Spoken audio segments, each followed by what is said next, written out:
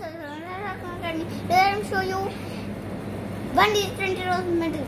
Set 0 4 plus 7 plus 9 plus 9 again plus 8 plus 9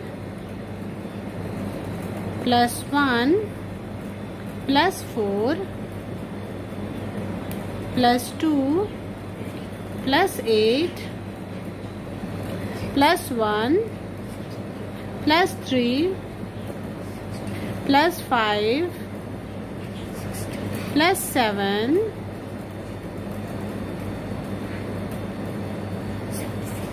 plus 8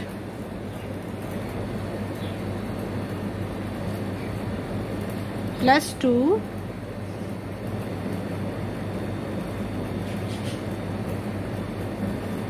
plus 3 plus 3 again.